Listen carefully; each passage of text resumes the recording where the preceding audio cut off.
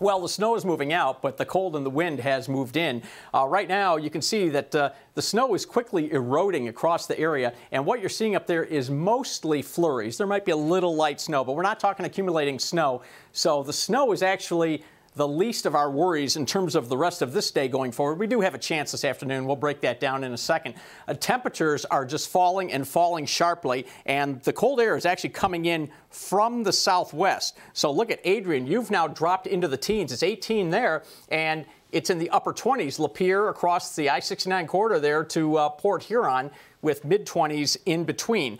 All right, let's now check out those wind gusts, and I'm still watching that Lansing uh, reading there. They've had a 51 mile per hour wind gust. I did not expect, and I do not expect wind gusts that strong here in the metro area, but wind gusts 2 or even a little above 40 miles per hour is certainly possible. All right, as far as the wind chill, if you are heading outside right now, it feels like single digits as you basically are anywhere, almost anywhere south of 8 Mile. You can see on the east side, you're still hanging on to some double digits there, but those single digit wind chills will spread northeastward across the area, and by this afternoon, we're all going to be near zero for a wind chill. So by 8 o'clock this morning, again, the uh, flakes are out of the area, and we should be dry through the morning hours.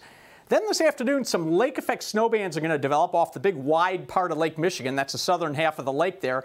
And some of those may extend eastward into our area. So the northern half of the area potentially could see some afternoon snow showers, but those are going to kind of be on the wane as we head through the evening hours. And I think we're mainly dry for the overnight hours tonight. Tomorrow, I think we're mainly dry for the entire day.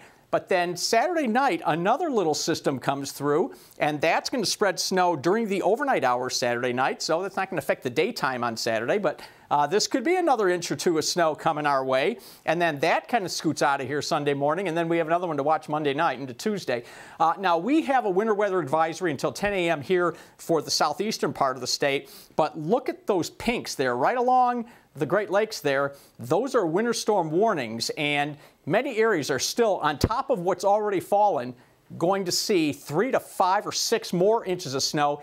And up in the Keweenaw Peninsula, which is actually uh, behind the banner in the map there, but the Keweenaw Peninsula could pick up up to another foot of snow. I have a friend whose son is at Northern Michigan University. They're just going nuts up there with, uh, with all that snow, but they know how to handle it.